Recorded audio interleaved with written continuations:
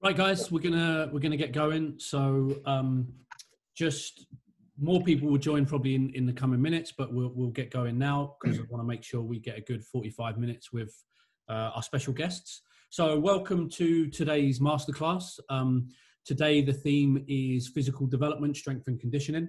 Um, so, this player development masterclass series is brought to you by the Dome. And within the Dome, there is the West Canada Soccer Academy, which is the soccer platform uh, with the Dome.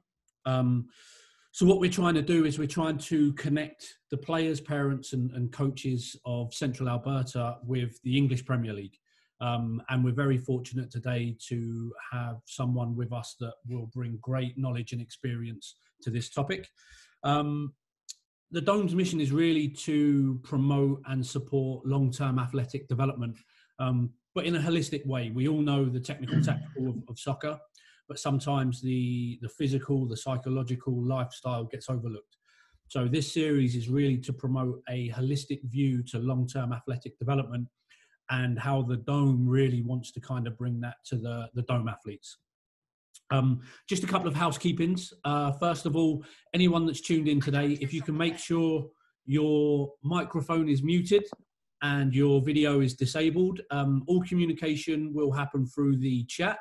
Um, so if you have any questions for the two guests, um, please type that in the chat. And um, during their discussions, I'll be monitoring the chat. And if need be, I'll chirp into those guys during the conversation, or there'll be a Q and A section at the end where we'll um, we'll go through some of the questions in the chat.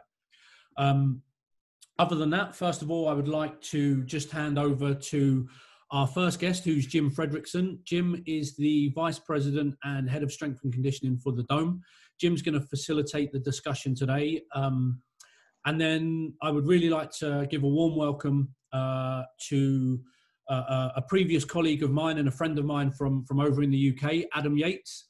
Uh, Adam is the lead academy sports scientist for Burnley Football Club in the English Premier League. Um, Adam has a wealth of knowledge, previous ex player, um, and now working in the Premier League, developing uh, young professionals, hopefully to come on and establish a career in the game. So, without further ado, I'm going to hand over to Jim and Adam, and you might see me pop in and out as we go through. Thanks, guys. Thanks, Jason. Thanks, Jason. Um, yeah, thanks so much for everybody for tuning in. Uh, we're looking forward to having a chance to sit down with Adam and just pick his brain a little bit about some of the experience he has. He's, uh, you know, maybe a little bit um, special in some ways uh, in the terms of he's got a background in the sport at a very high level. And he's also, you know, a strength and conditioning coach and uh, head of sports science. So that is something that is is tremendously valuable for us to tap into as a community, just to get some of the knowledge from from Adam that he can share with us. So just to give you a quick background on myself, uh, I've been in a strength and conditioning coach for the last 22 years. Uh, I've ran my own business uh, for 17 of those years, and I've uh, worked with amateur athletes and pro athletes that entire time. I had uh, the privilege of uh, doing that my whole entire career, and so it's a passion of mine. I love it, and uh, I really still enjoy watching athletes progress and develop. And I think that the dome and what they're doing is is a good fit for the next step of my career, uh, developing athletes in multiple sports, and not only that, but educating the athletes uh, a little bit more uh, organized fashion and consistency with all the different aspects and pillars that are involved in that. So um, I know with Adam, um, we had a little bit of a chat this week, and you know I got the chance to to hear from you and hear a little bit about what you're doing. So I'm super excited to share with uh, with uh, everyone on the call just a little bit of your knowledge. So I'll just get right into it and just uh, just ask you. So as a former pro, you know what what was it that really give you the passion to become a strength and conditioning coach, or what kind of set you on that course? Well, I'd probably say as a player, the, the physical aspect was always a strength of mine. So I had a, obviously an inkling to be interested in it anyway. Uh, but it was during my injury, about age 19, spent a lot of time sort of rehabbing from my injury, a lot of time in the gym, and a lot of time to to do a bit of reading and observe and learn from some some professionals in the industry. And that's where I really got my passion for it. Uh, and of course, when when my injury was wasn't able to allow me to return, I, I developed such a passion for for the physical side of the game, and that's the route that I chose to to stay in in the elite game. So that's where it all stemmed from, really. Awesome. No, that's neat because it really is a, a great perspective. Um, just being a player and being a coach, because it's like you've been through it all. You've kind of you know what it feels like to be pushed. You know what it feels like to be tired. You know what it feels like to be you know challenge to get to that yeah. next level. So I think that's really something that's really helpful uh, when you're working in a gym with someone who's done it before. So that's uh, I think that's something that's uh, really awesome. Um, you know, as a former player, uh, and and with your perspective, you know, how important is strength and conditioning to maximizing performance and and for really taking that next step? In in the modern day game, it's massive. If you'd had asked me the same question about 20 years ago, in England, it was more focused on the technical aspect. But in recent years, uh, Jason will vouch for me as well on this. The, physical aspect of the game over here in England has has been improved and has risen so much that the demands placed on the players now, the physical and mental demands is, is a lot higher. The outputs that the players are producing in terms of distance covered, the speeds at the the hitting, the strength, etc. It's, it's it's really excelled. So in order to compete at the highest level now, you have to also be very good physically. Your technical abilities will only get you so far in the game. It might get you an amateur career, which some people are happy with, but if you want to be the elite and if you want to reach the top of your game everything's got everything's got to be worked on and the physical aspect is in some cases uh, at some levels just as important as the technical aspect right thanks yeah it really does seem like that with with every sport that it's really progressed and you know it's it's it's definitely evolved and and and become uh, so important and i think like some of the aspects even now um, you know the the polish that's on it now. It's more a lot of them are being more concerned with you know overall longevity of the career and doing exactly. things right, right? Not just working hard, but you know putting some thought to it, um, maximizing you know every part of the workout. Where there is you know my experience is when I first started training, a lot of it was about just hard work, right? And it's like it's really, as you know, there's a lot more to it than just hard work. There's a strategy to it, right? Yeah. So awesome. Awesome. Um, one of the other questions I was thinking is, you know, what is the primary focus to optimize results when starting uh, with athletes and strength and conditioning, and and like what age would you suggest in your in your experience, in your opinion, in the, in the modern day? You know, when when is it appropriate to start, and what does that focus look like? So the, the belief we have um, at Burnley is that you ne- you're never too young to start S and C, but it just it just looks different at certain ages. Um, so I'll give you an insight as to how we do it here. So under nines to under 11s, um, it's kind of we, we want to get the lads moving. We want to get the lads moving in different ways. We want them to have fun. So it's a little bit chaotic. We just chuck the, the players into loads of fun games that obviously tick quite a few boxes for us in terms of movement uh, competencies and, and, trying to develop different aspects of the, of, of the athlete because you find a lot of players if they specialize in a certain sport from nine onwards, they, they don't pick up the other beneficial aspects of different movements that other sports might bring them. So um, I, can, I can share an example with you of what we do at, at, young ages and then talk to you about how we progress that through to 18. Are you happy for me to do that, Jim? Yep, that's great. So share something on my screen. Uh, so, so can everyone see that video? Yep. Yep. Yeah, so click play.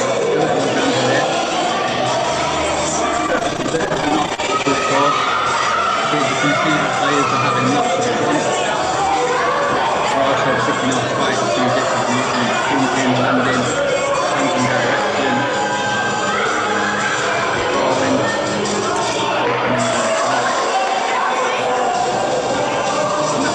at the young ages. Can you turn that sound down a little bit? We can't hear you. Sorry, Jason. No problem, mate. Video looked great though. Did you hear? Did you hear what I was saying during that? no. nah, can you repeat it? Okay, yeah. So basically, that, that video was just showing the the younger age groups um, on an obstacle course, which we set up in the indoor arena. Uh, the players are obviously having lots of fun. They see it as a fun game. They don't they don't see the out outputs or the outcomes that they're getting from that game, but if you could see the briefly in that video, there was jumping, landing, turning, sprinting, changing direction, and it was all done in a fun, competitive environment. which the coaches got involved with, as you saw as well. So that's kind of how we do it at the younger age groups. As we progress to 12, 13, 14, we still make it fun, but there's a little bit more structure and a little bit more thought behind the sessions that we put on. So we teach similar movements, but a little bit more coached. So a, a few more cue points, a few more on on on hand coaching, um, and we introduce them to a little bit of body weight strength work. And then when we get to 15s, 16s, we start to teach more complex movements on the field and in the gym under sort of you know controlled loads dependent on on the athlete's competency. And then when we get to 17, 18, 19, hopefully those complex movements have been mastered and we can really start to put some load on the athletes. But that's how we progress it. And going back to your original question, Jim, S&C starts at a young age for us. It just looks very different from what it does at 18, 19, 20. Excellent. Yeah, no, that's great. Uh, I've looked at a couple other clubs and, um, you know, Arsenal and different things, and it's just, it, you can see that trend. Uh, it's the same way. Uh, I agree 100%. That's exactly how, you know, we look at it as, you know, joint, joint mobility and joint function and Yeah. uh, that, that's where you're talking about movement and then like you said i think having games and stuff um, is super key i hear that a lot from a lot of people it's so important at that young age uh, to keep them engaged keep having fun keep it competitive and at the same time still screening movement and still learning what you can about that athlete so no that's awesome Thanks, yeah. So d- sorry, Jim. Just to come back to that as well, just to Yeah. give them insight, we have we uh, we put other sports on for them in that arena. So that was just a snapshot of the arena. In that arena, there, there's loads of different sports going on with different groups. So we have taekwondo, gymnastics, rugby, um, a general S and C station where they do a few a bit of ladder work and change of direction. Um, and then obviously, as you touched on there, we do we do screen the, them as well to see if there's any benefit of these things. And we've seen some improvements in speed and the young athletes, injuries sustained as well, and that's at a young age. So it just shows you the benefit of it. And hopefully, we're we started this a, a few years ago. and Hopefully, in a few years, we're going to get the benefits at first team level, and we're bringing these players through. Yeah, that's great. And you know, I think uh, you know one one other thing that's worth pointing out is just you know the it's almost like you you need to uh, somewhat train to move, right? So I think that's what uh, a lot of these kids uh, when they come in, they're they're you know they're maybe a little bit detrained, and sometimes you know some of the, those things are so important at the start, even almost more important than the technical. So I think uh, Exactly, you yeah. know that's where it's a good good balance At that age, the, the brain is like a sponge. So the more you Yeah. can do at the younger ages, the better you, you'll be as you grow. You'll be a more complete athlete. Right, right. Actually, in our last call yesterday, that uh, was that was exactly one of the points that was made. Just just how much they can learn at a young age and how Exactly. beneficial that is. So awesome.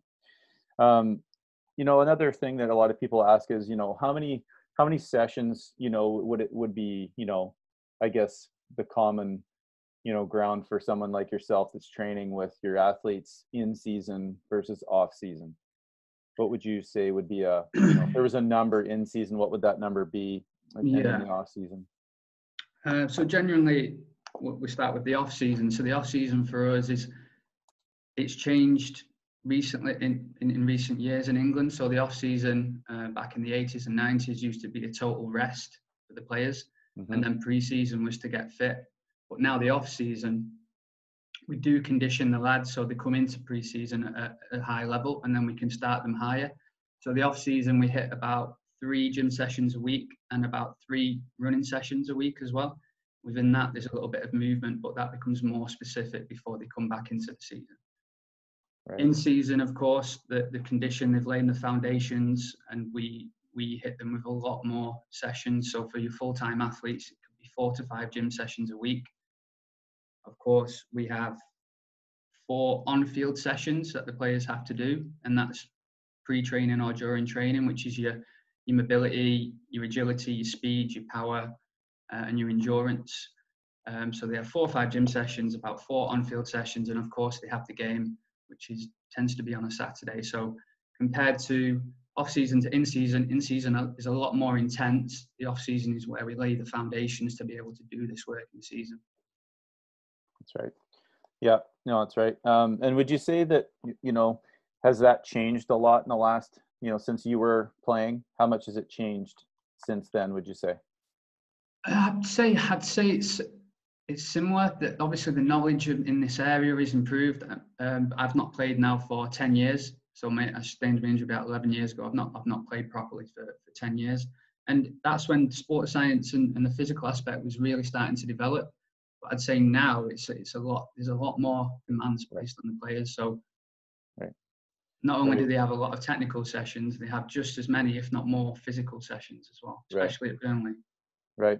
Right. Another thing that you know, uh, well, I even said to Noah and and Jason, I hesitated to talk about it because it's kind of a misunderstood thing, but you know, overtraining and working and and you know what's too much, and I kind of thought, well, let's lead into the question of you know how important is hydration and nutrition to optimize performance, and that that probably has a pretty large impact on you know what what a player can and can't do, and so I thought maybe we'd throw that one at you and see what you can. Yeah, it's uh, it's massive, and it's something that we really drive home of course, if you if you're hydrated or if, if you're dehydrated, then you're then you you're more likely to make mistakes, become mentally fatigued quicker. Your your your performance, your physical performance is decreased. Uh, it impairs your concentration, and you're also, which we really bang home to the players, if you're dehydrated, um, you're more susceptible to, to, to sustaining injuries. So it, it, we have we have ten clear points at Burnley that we that we drive home to the players, and we do a lot of education around hydration, a lot of workshops. So I'll just share with you the 10 points. If anyone wants to take a picture of this, you're more than welcome. So if everyone can see that, yep. Uh, they're, the, they're the 10 take-home points that we really drive home for the players. Just to try and help them because they're still younger lads, are still learning. Ads, I'm just going to jump in quickly and remind everybody viewing that this video will be available. We're going to put it up next week with all the other four videos. So if people are scrambling for a pen and paper, don't panic. It's going to be available for everyone to see next week as well. Yeah, um, cheers, Jason. We we test the lads every morning. So when they come into the building, one of the first things they do is a hydration test, and that's not to try and catch the players out and say you're dehydrated. To try and help the players be hydrated for when they train, to help them perform better. And obviously, remain injury free. So we do we test the lads with something called an osmolarity check, which is a simple piece of equipment. The lads give a urine sample, we analyze it, it gives us a number, and then this number is compared against this chart. Um, don't know if everyone can see that. So we have a rating system. Zero to 200 is what we call overhydrated. So it's when the players drank almost too much and they're starting to flush out all their electrolytes and key salts.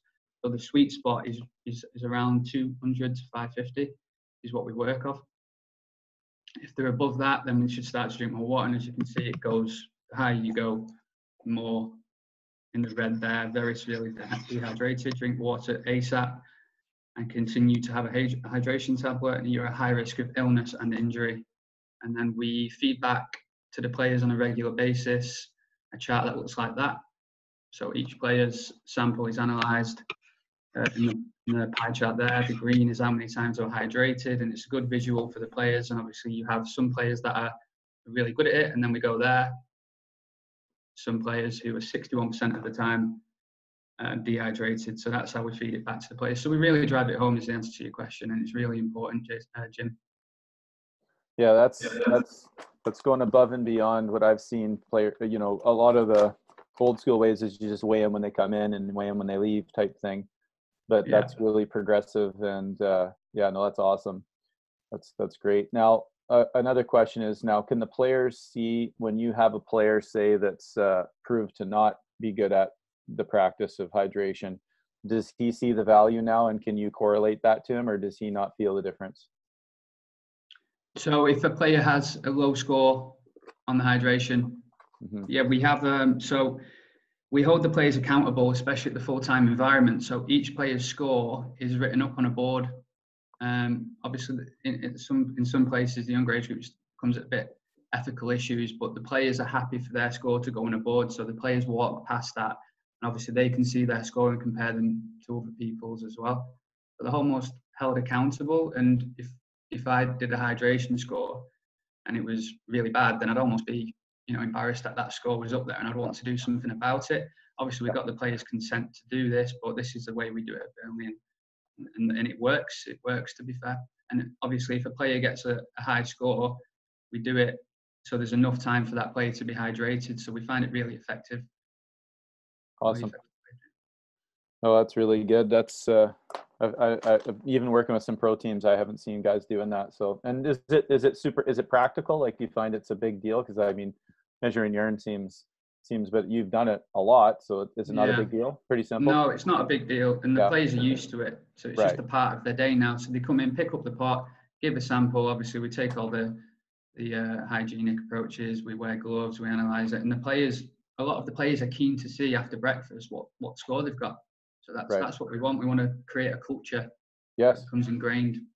Yeah, that's a that's a key word right there. Just the culture and, like you said, being accountable. Um, yeah, it's that's great. Um, another one I was going to ask you is, um, do you see a trend in the best performing players over the years in, in the game? Like you've been in it a long time, you've you've played yourself, you've been involved in the game your whole life, really. So you know, do you see some trends in in you know, in high in the best performing players? Do you mean best performing uh, in physically or best I, performing? I, I mean, as an overall, like like um, performing as in leadership, like leadership in in the game, leadership in the in the dressing room, leadership in in culture, like just just who they are. Do you see any trends in these kids? Yeah, I mean, I've, I've been fortunate. I've been fortunate to play and work with some top players. Some of that have gone on to play for England at the top level, won Premier Leagues. Um, we've also recently uh, produced quite a high profile player at Burnley and the, the, the, common themes really are obviously fundamentally they have good technique. That's a given. You know if you haven't got good technique you're not going to make it in the game. They have a desire desire to win desire to get mm. better desire to improve. They have they have high standards. So you know high standards for themselves but also for others and the teammates. Uh, they have they have character. So by that I mean they they have a presence, they they have a, a character on the pitch, off the pitch. Um, they, they, they really stand out in that in that sense, and they're they're professional. Every day they come into the environment. Every every every day that they come into into what they call work, but for me it's not work. It's you know it's a it's a pleasure. Um, they, they, they have a, a, professionalism which stands out massively, and, and Jason will will echo that as well. I'm sure. Yeah, I was actually just going to chirp in just to bring it a little bit closer to home.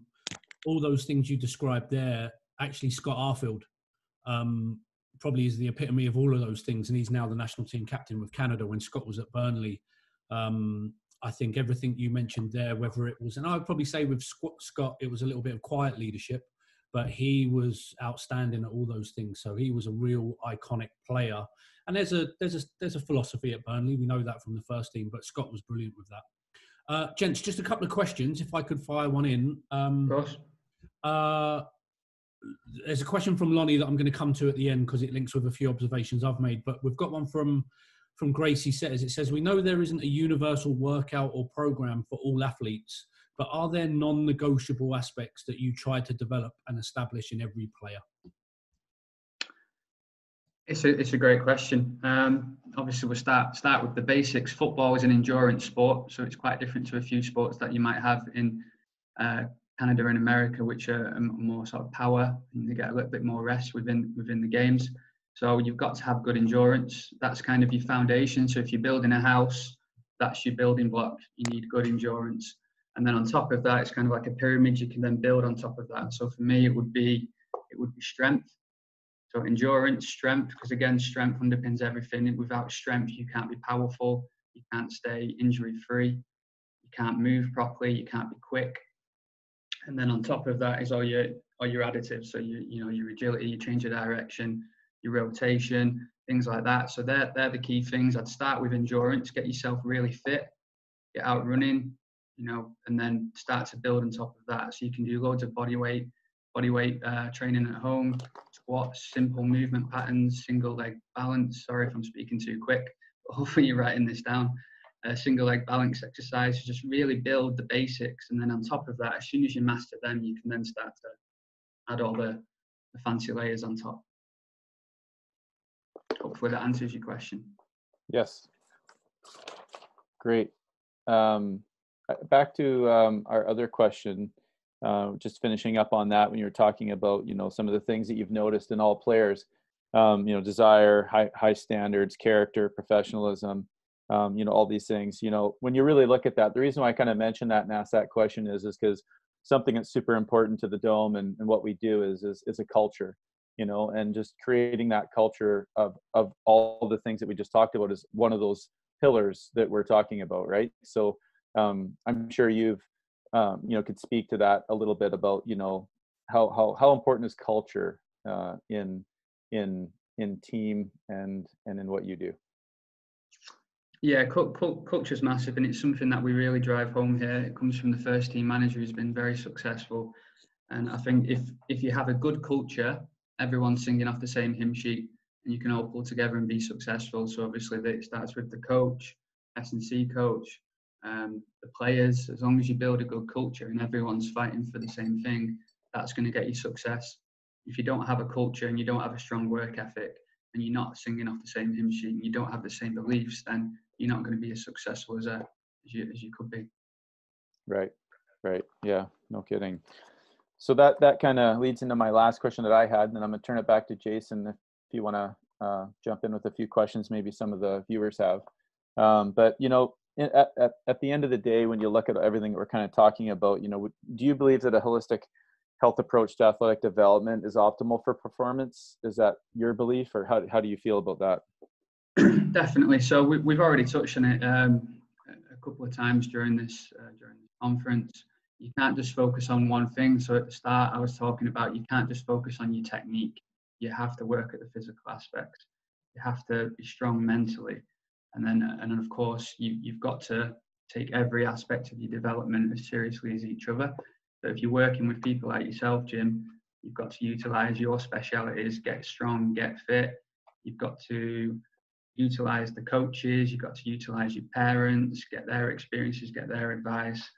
Um, and at Burnley, we have some very good professionals. So each player has got so much support. They've got myself, they've got the physical aspect, they've got physios, uh, they've got coaches, they've got psychologists, uh, they've got a nutritionist and that's all to try and create the most you know the most rounded athlete that we can possibly produce if we were just to focus on one area our success rate at producing players wouldn't wouldn't be that high. So a holistic approach not only from the player from the parents and the staff to take every discipline as seriously as the other is is massive for me. Right thanks. Awesome. I'll turn it over to you now jason. Thanks jim. Um, I'm going to go back to Lonnie's question. So one of the one of the observations, Adam, was when you done the um, you showed us the video of the the assault course type thing. Yeah. Um, so that that multi-sport experience over here, there's a, a common practice design. Um, what we know in England is the carousel model, um, where there's loads of different stations and, and and you rotate round. So your concept there is quite familiar in Canada. Um, how often would you do those kind of sessions um, for the foundation phase, the nines to 11s? And how often would you do those found, uh, those sessions for the older boys, girls, uh, 11s up? So the, the, the players do that carousel multi-sport type um, type session once a week with us, and that's just due to contact hours, um, availability, and obviously they have to the other factors of the game, like the, mainly the technical aspect. Uh, but what we do hope and what we've got back from surveys is when they experience these sports and, the, and they experience the fun environment and what they're getting from it, and it encourages them to go away and do these sports at either the school or actively seek out different sports in their leisure time.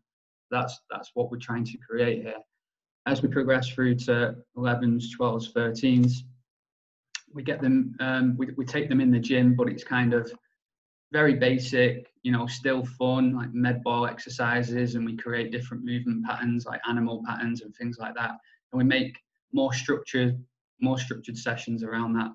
Obviously, as we, as we go through to 16, 17, 18, as I touched on earlier, we, we, we do we can do up to four to five sessions a week, Jason. It's that's the demands that are placed on the players. Obviously, that's controlled. We don't just blast, and there's a lot of a lot of um, thought goes into it um, and a lot of science and a lot of feedback from players.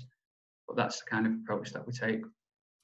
Just making it into uh, a kind of Canadian example where they might not get the same contact time as you have.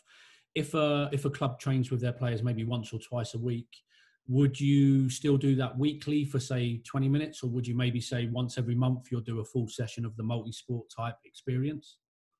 Uh, no I'd, I'd, definitely definitely incorporate it into your sessions. 20, 20 minutes is, is better than nothing. And and for me you can still develop. Like if if if i come in and do one of your sessions jason and i work on a, particular aspect of my physical performance for 20 minutes. There's a lot i'll take from that. There's a lot i'll learn from that.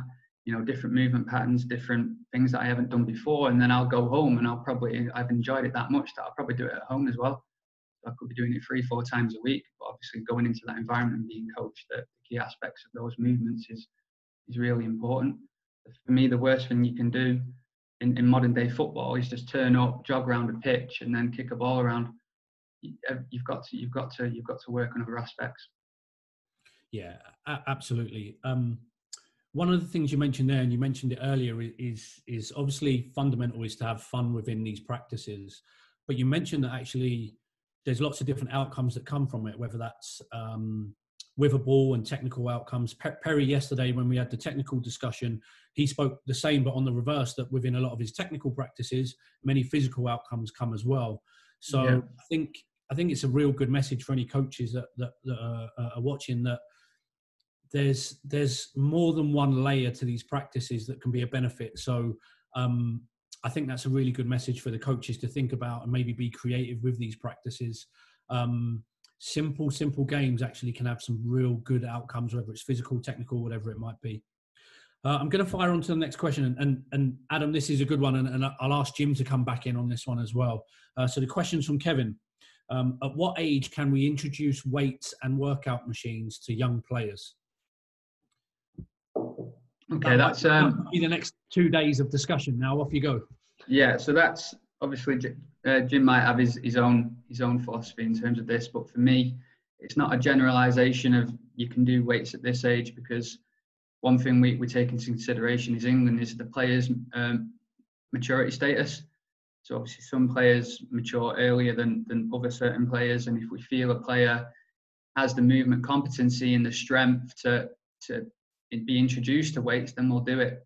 And we don't say players are going to lift weights at 11. We do it individual basis, and we find that's the best way to do it.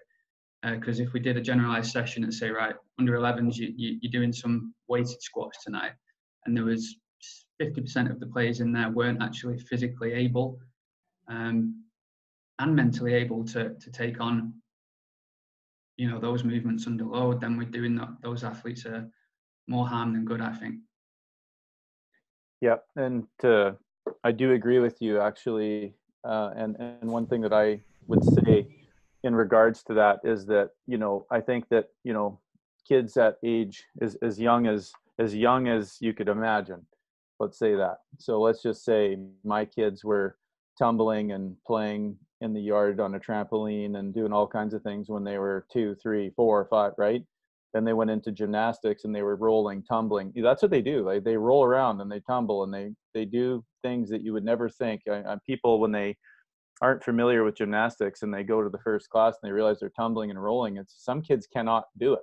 Like it's it's it's, it's crazy that they struggle with it. So mm-hmm. any kid that i've ever seen that's come through a gymnastics program before i've got them has always been superior in everything they do um, that i've seen uh, in canada so if i've had a uh, uh, you know, maybe a, a, athlete that was in gymnastics from say five to say 12 uh, or 10, because our gymnastics program here is quite poor um, after that, they always go on to be elite in the sport they end up in after that. So I would say that body weight, uh, joint mobility, um, joint health, their ability to move, like you were saying, uh, Adam, I think that's mm-hmm. so important. And like you said, um, then for there for us, my what we do and what the domes method will be is is holds. So ISO holds to develop actual strength with body weight and actually adding endurance into it. So it's actually quite challenging. And then from there on, they'll have supportive and structural strength and be able to support a lift like a barbell or being able to go on to do lifts. And that could be as young as age, you know, eight. So it just depends on where they're at. Do I think it's necessary to be loading an athlete at eight years old? No, not unless they're completely prepared and that's the level and that's the next step. So I think we uh, we agree on that. Yeah, I mean, if I had any advice um, for, for a parent that's wanting the best for their child and wanting to, to push them and create a good athlete, I'd seek advice before you start to load the athlete. I'd seek professional advice from, from Jim or anyone else. Um, and, you know, if, if you're going to get the most out of it. Excellent. Thanks, guys. Re- really interesting topic, that one. Just uh, moving on to a question from Nate. Um, Adam, in terms of uh, game day, what's your philosophy around nutrition and supplementation? And how would that look from the younger age groups going up to some of the older age groups? If we start, if we start at the younger age groups, um, we, we we teach the athletes the basics. So we say they've got, a, we call it fuel. So we say we've got to fuel, you've got to fuel your bodies before you come. And obviously, it's a bit less structured at the younger age groups because we've got different types of travel. We've not got control over certain aspects of what they're doing up to the game. So we give them advice to get, you know, a good breakfast, good pre-match snack under the under the belt. Bring a drink, have an isotonic drink as well to drink during the game. And that's kind of what we do. So we're, we're starting to educate them. We've got some things up around the building. Uh, we've got workshops for the parents to try and educate them. Um, but it's just eat well, eat well the night before, eat well in the morning, um, you know, if, if you want specific examples, it's something that I can share with you, Jason, that you can distribute handouts that the, the players and parents can look at.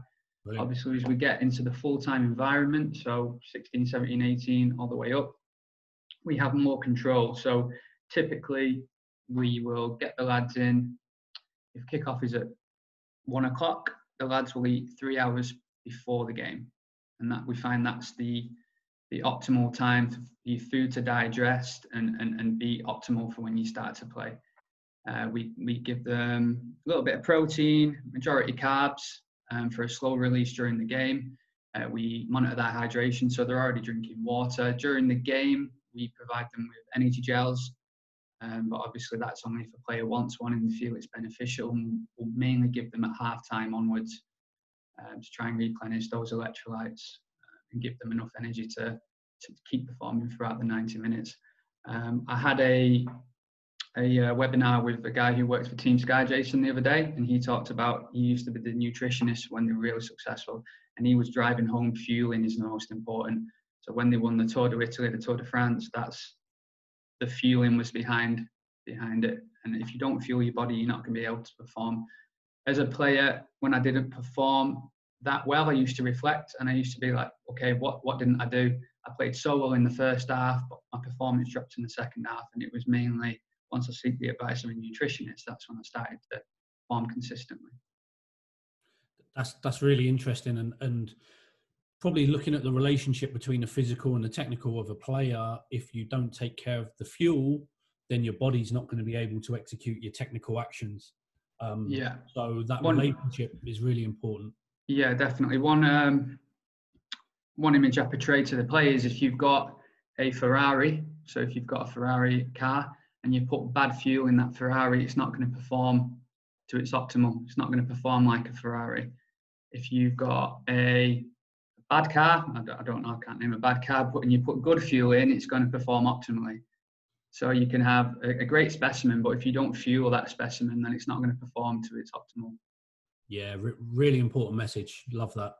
Um, so, good question came up yesterday in, in the technical discussion with Perry, where field size was um, mentioned. Now, around the facilities in this area, um, the field sizes are all FIFA regulation mostly, but they still differ in size. Smaller pitches bring out different technical components to larger pitches. How would yeah. that translate to a physical aspect? If if we're playing, and, and obviously with the, the, the weather here in Canada, there's a lot more indoor soccer. Um, if we're playing 7v7 or 9v9 on tight fields, and then we play on larger fields when we go and play in alternate facilities, how does that change physically? What does tight fields do as opposed to the bigger fields? Yeah, so obviously you um, within that, might, Perry might have touched on obviously on smaller fields you get more touches of the ball. There's a lot more short, sharp accelerations and decelerations, so you can really develop your agility on a small pitch. As the pitches go bigger, you get less touches of the ball and you do a lot more sprinting and a lot more endurance work. So you, you can build your aerobic capacity by playing on bigger pitches. And that's one thing we do at Burnley. So we have, for example, under nines who play on a small pitch. We'll expose them from time to time on big pitches to try and expose the the athletes to that you know aspect of their fitness. Um, if, if we constantly play them on small games, then we're not exposing them to those loads and those aspects of the performance. So we do that in a in a structured way. Um, but obviously, yeah, the, the bigger pitch you play, you're not going to develop your technical aspects as much. You might do your tactical and your physical aspects as much. So yeah, it just depends. Does that so, answer your question, Jason? Yeah, yeah, it's good and, and, and, really important, I think, for us to understand that. Um, and we spoke about diet, but not. It was more a, a, a hypothetical diet of small pitch experience and large pitch experience is really good for the players because they're getting a mix of that short, sharp stuff as well as the yeah. longer distance kind of sprint endurance type work. So um, I think I think that's really really interesting. Um, just going back to a, another question we had from from the chat is um, from Gracie. How would a typical off-season workout differ from an in-season workout for a 17 to 19 year old? So uh, just to confirm, Jason, does the off-season is it does it mean the same over over there? Is similar? Yeah. You know so, how the off-season structured over here, don't yeah, you? It's close season, but here the, the seasons differ because there's a long indoor season and a short outdoor season. So there's actually two right. periods of, of off-season here. So yeah, if we're talking if we're talking from the, the way we do it over there, the off season it's a lot more extensive, so a lot more long distance endurance work, and obviously that becomes more focused as we get towards the start of pre-season. Um, so if we if we compare compare the two, I'd probably say the off season is big bigger distances, a lot more basic, and then as we get the lads in the building, it's more in season. It becomes a lot more specific and a lot more intense, a lot more structured. that makes sense. Yeah, absolutely. Absolutely. So, really, really good topic on this one. A question from Keenan is how do you elaborate with how you communicate? Sorry, can you elaborate with how you communicate these um, physical development messages to the parents?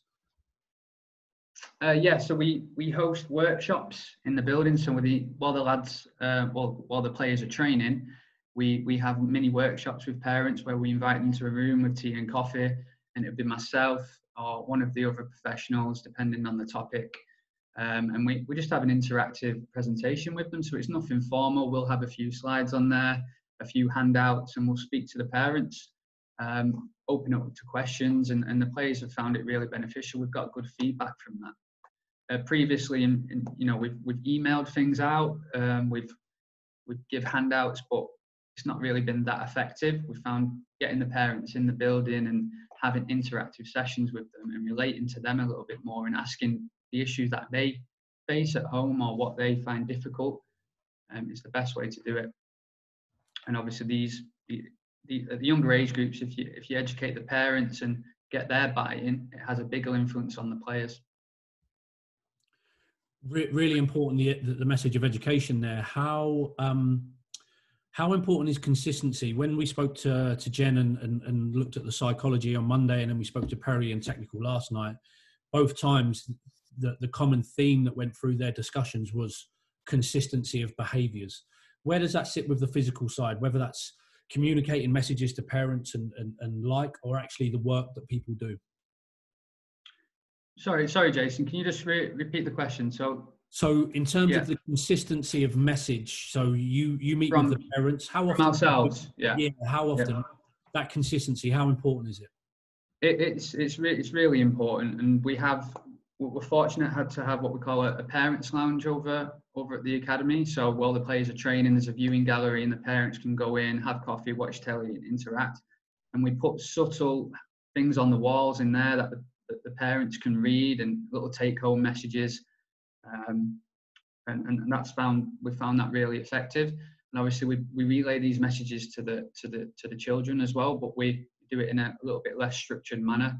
We just sort of informally talk about them because we find the more information we give the younger lads, the more they switch off and the more it just goes over the head. So consistent, simple messages is the way we do it, Jason. Really, really base, brilliant basics, which is a phrase you've probably heard before. It's really simple messages, and then obviously when when we lay these messages down, we can start to develop them a little bit more. Yeah, re- really good, uh, really good example there. And Perry yesterday spoke of, of the value of the basics and doing the basics very well. Yeah. Um, which is which is really good. So we've just got a few minutes left. So I've got a couple more questions. One coming in from uh, from someone we know, Noah. Um, can you give a practical examples of how you work with the on-field technical tactical coaches to maximize performance? And my experience and what we tried to build in the culture back at Burnley was the technical staff and the physical staff having a better relationship. How how do you do that, and how has that evolved in in, in recent times? It's uh, it, it, obviously since since uh, um, I started working with you, Jason, it, it has improved, and that's one frustration that you had, I think, when we were at Burnley, the multidisciplinary approach. And obviously, as the more evidence is coming out in England and the Premier League of the importance of physicality of the players, the importance of sports science, I've found, particular in the the older coaches who are, who tend to be set in their ways, they become more receptive and more more open to the ideas that we have. And my skill that I've learned is that you can't give too much too soon. You've got to educate the coach without patronizing them. You've got to you've got to prove the work that you do is beneficial. And obviously, we've collected quite a lot of data over the years, which is which has proved this to the coaches. So we we have a meeting in the morning and we discuss, okay, what as a coach, what do you want out of the session? Okay, we want to work on this, we want to work on that, that, that. Okay, let's let's create a session that that ticks a few boxes for you and a few boxes for me. How can we how can we develop? And we, we we're getting good at that, Jason. Obviously, we're still not perfect, and a lot of the work I do has to be isolated with the players. Um, but before every session, I spend about 20 minutes with the players working on a physical component, whether that's speed, and to get the buy-in with the coaches as well, I have the ball involved as much as I can. So to get the buy-in from the players and the coaches, if you can relate it to a football as much as you can. Three key messages at the end of it. This is going to help. This is how this is going to help you on the pitch, and that's that's the way I work, Jason. And I found, you know, I found it works. And and I guess something that's supported with that, Adam, is um, Liverpool dominating the Premier League and their style of play um, is awesome to watch but there's a huge physical competence needed to be able to play that way. Oh yeah, yeah. That style Definitely. of play might be supporting the strength and conditioning coaches and the messages you're trying to share with coaches.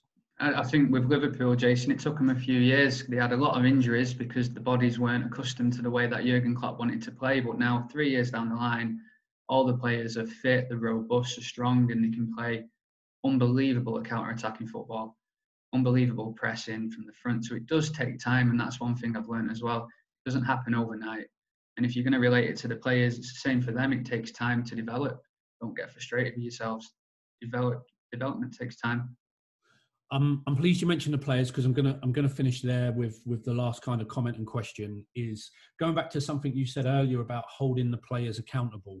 For any of the players that have been watching this, um, what would the key messages be for them now to go forward? I, I think the long term development is a slow process is really important. What you just said there, but in terms of that accountability, um, hopefully no no young players are going to go and run to a gym now and try and lift up big size weights. But what would the what would the take home message be for the players? Um, and then that's me going to sign out and, and hand over to to Jim. Uh, if, if I had to mention one thing, it, it's be self-aware. So be aware of your strengths, be aware of your weaknesses, and acknowledge those.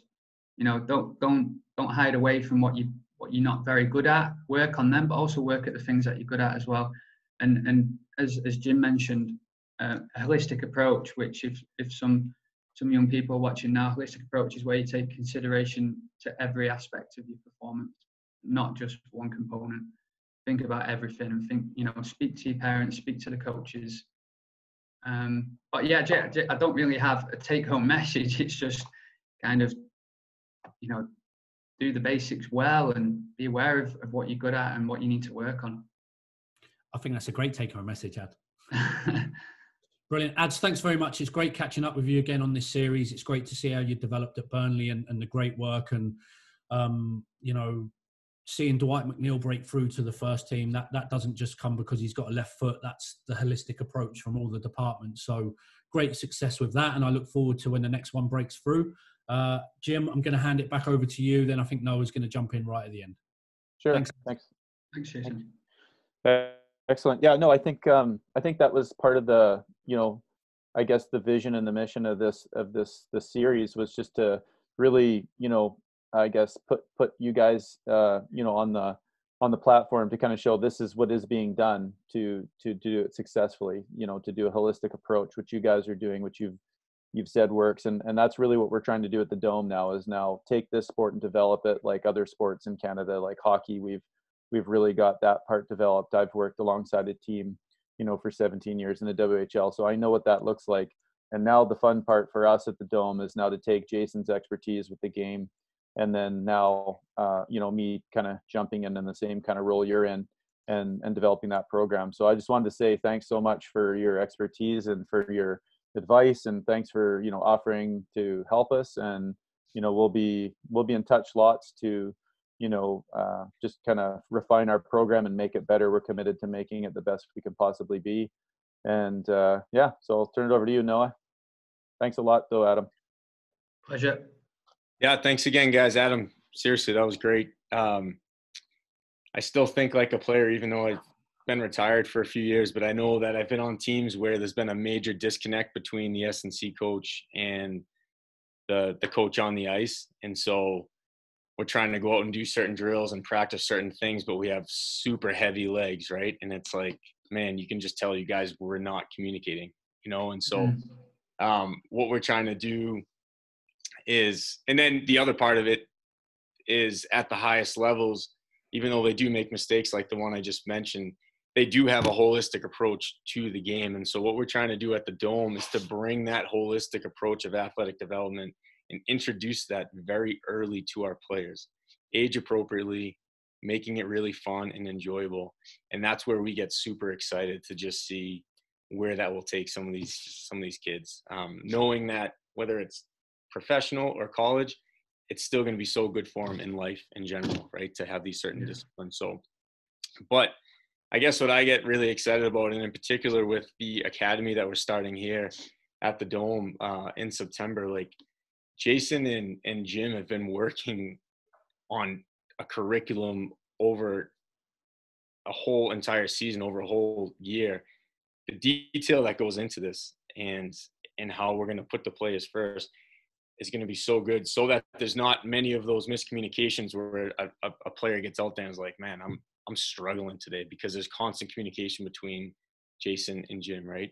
So we get super excited about that, and it seems like you've experienced that as a player and even as a coach like you said maybe it wasn't as good years past with jason but now it's a lot better mm-hmm. um, so um yeah thanks for sharing everything that you had and and i guess uh my last question for you is how do you are there still barriers from your point of view as an S&C coach with your technical tactical coach like or are you more respected now? You know what I mean? Like, do you have yeah. a voice, or is it still like, hey, this is what's most importantly?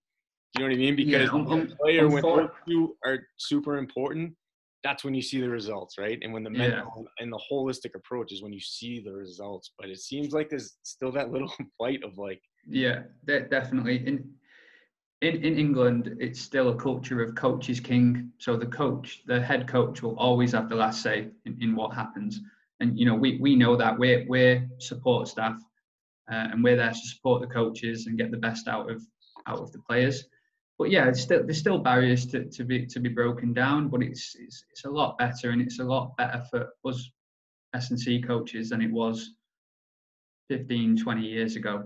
We are getting the buy-in we are getting a lot more time. I mean i'm so lucky to have the time i have with the athletes. You know at, at times it can be chaotic. I might have 25 players in, in, in the gym. And it's chaos and it's but it's it's having time with the athletes it's brilliant. I'm just there with a smile on my face and i've got 25 lads in the gym we've got two hours to do as much work as we want to do. It's it's brilliant. A few years ago it wasn't like that. It was like the lads are back out on the grass doing football. No you're not you're not doing gym with them this afternoon. No you're not you're not mm, you know so we, we've we've got that buy-in now and it's it's kind of a fundamental part of, of, of football of soccer sorry. Soccer now is is um is the physical work. So you know we're really lucky, and I'm I'm really lucky as well to work in such a good environment. That's awesome.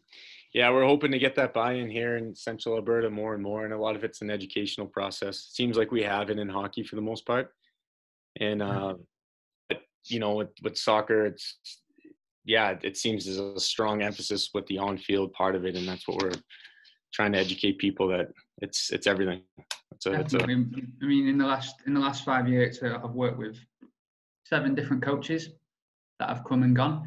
The, the coach that I'm working with now has got 30 plus years as a as a coach, but also 20 years as a player as well. So he's very very experienced. So it took me a few months to, for him to sort of change his mentality towards what because he'd never worked with someone like me before. The, the club that he was at didn't have support that they have at Burnley, but now he's you know he's got he's got the buy-in. It's it's it's really it's really good. I'm really lucky. And and previously I've worked with younger coaches who have been all for sports science and you know and, and seen the value in it straight away. So I've had those experiences as well, which has helped me become a more rounded professional and communicator. so Sure. Once coaches, players, and parents see the results, that's where the buy-in comes. It's just getting them in the door to, to you know, to give it a try. So, mm-hmm. Adam, thanks so much. This has been awesome. Um, we are coming back tomorrow with talent identification, which is going to be really, really interesting. Um, yeah, so I could have a lot to say on that, but this is running long. So thanks everyone for joining in, and uh, we'll be back tomorrow. And Adam, we got to get you on a plane, man, to, uh, to in the future. So you're welcome at the dome. Cheers, guys. Okay.